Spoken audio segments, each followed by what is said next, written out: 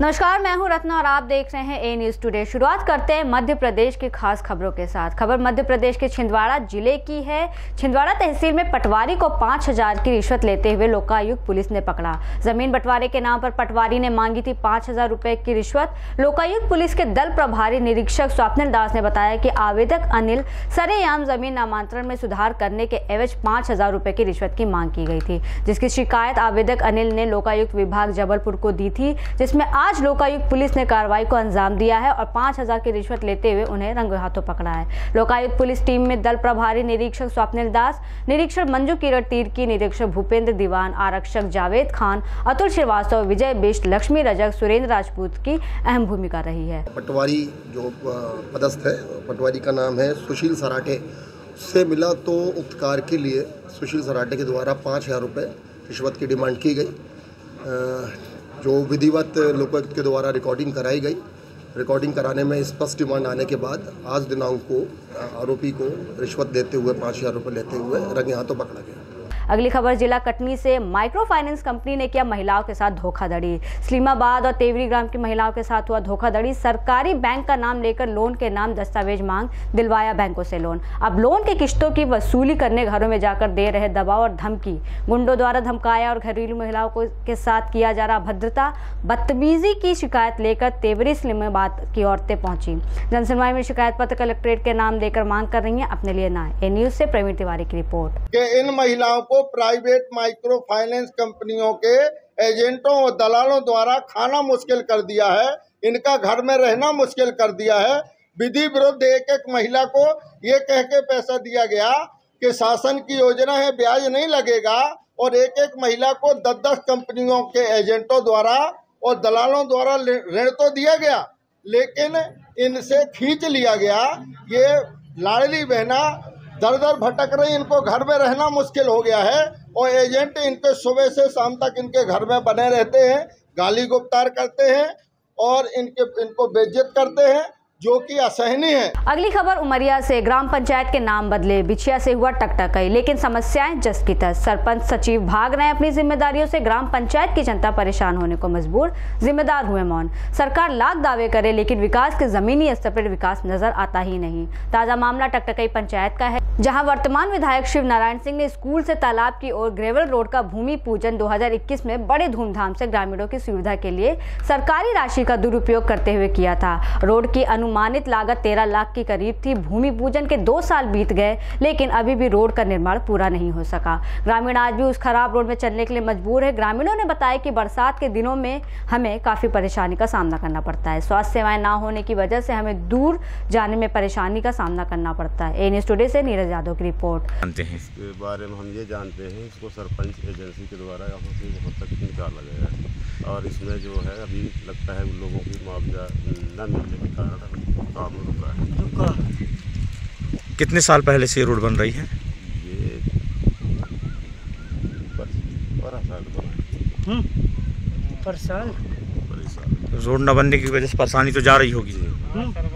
परेशानी बहुत जा रहा है गाड़ी घोड़ा वाले इधर उधर सब। अगली खबर दतिया से। दतिया पुलिस अधीक्षक प्रदीप शर्मा के द्वारा चलाए जा रहे चेकिंग अभियान तहत दतिया सिविल लाइन थाना टीआई धवल सिंह चौहान द्वारा मय फोर्स के थाने के सामने चेकिंग के दौरान एक सिलेरियो कार में अवैध हथियार सहित पाँच आरोपी गिरफ़्तार। कार में सवार आरोपी विक्रम दांगी, जो खीरा नाई का रहने वाला है, उसके साथ ही यशवीर दांगी, राजेश दांगी, अंकुश दांगी और मोनू दांगी, बुहारा, ये सब गुलमऊ के रहने वाले हैं। इनके कब्जे से एक तीन बोर का देसी कट्टा, पाँच तीन बोर के ज़िंदा राउंड जब्त किए गए।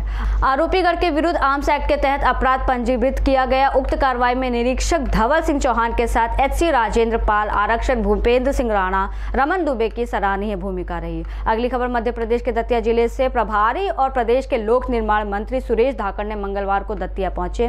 माँ पीताम्बरा, बगलामुखी माँ की पूजा अर्चना की और भगवान शंकर, बलखंडेश्वर का जल अभिषेक किया। इसके बाद प्रभारी मंत्री वृंदावन धाम में आयोजित कार्यक्रम में मुख्य अतिथि के तौर पर पहुँचे। आपको बता दें मुख्यमंत्री कृषक ब्याज माफ़ी योजना के तहत 6,222 किसानों को 7 करोड़ पंचानवे लाख की ऋण राशि माफ़ी के प्रमाण पत्र दिए। इसके साथ ही फ़सल बीमा योजना के तहत रबी और खरीफ फ़सलों की बीमा राशि 27 करोड़, बानवे लाख पचास हज़ार किसानों के खाते में अंतरण की गई। इस मौके पर वृंदावन धाम दातिया में क्षेत्रीय सांसद संध्या राय, युवा नेता doctor Sukaran Mishra, collectorate Sanjay Kumar, police अधीक्षक प्रदीप शर्मा, जिला पंचायत के मुख्य कार्यपालन अधिकारी कमलेश भार्गव विशेष रूप से उपस्थित रहे। इस दौरान राजगढ़ ज़िले में आयोजित राज्य स्तरीय किसान कल्याण महाकुंभ के मुख्यमंत्री शिवराज सिंह चौहान और केंद्रीय रक्षा मंत्री राजनाथ सिंह द्वारा उद्योधन के सीधे प्रसारण को भी किसान भाइयों ने लाइव सुना और देखा।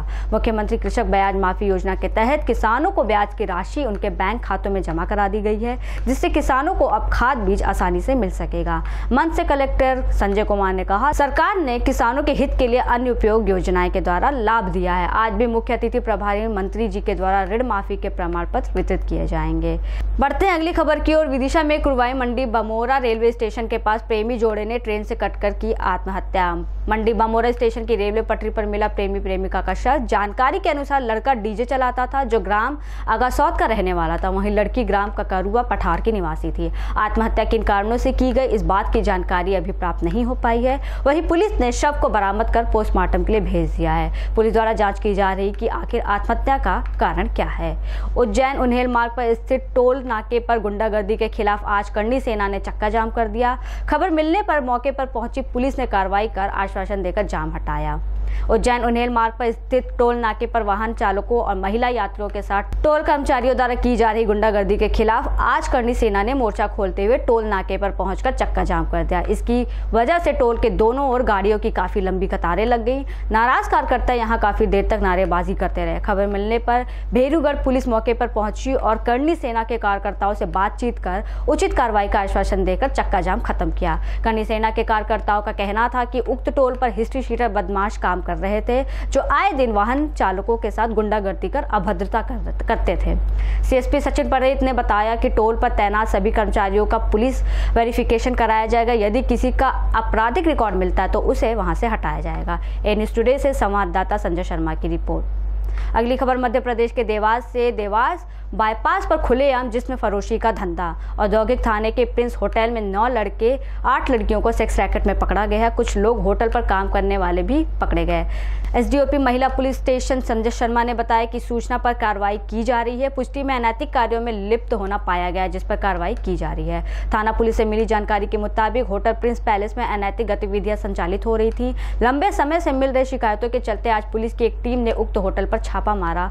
तो वहाँ सेक्स रैकेट में लिप्त आठ युवतियाँ और नौ युवक को पुलिस ने गिरफ़्तार किया है। महिला police station SDOP Sanjay Sharma, औद्योगिक थाना प्रभारी अजय चान्ना और संयुक्त टीम द्वारा कार्रवाई की जा रही है। अनैतिक कार्यों में लिप्त धाराओं में प्रकरण दर्ज करके कार्रवाई की जा रही है। एन स्टूडियो टुडे से रिपोर्टर हर्षद मेहता की रिपोर्ट। फ़िलहाल के लिए इतना ही। एमपी की तमाम बड़ी खबरों के लिए देखते रहिए एन स्टूडियो टुडे।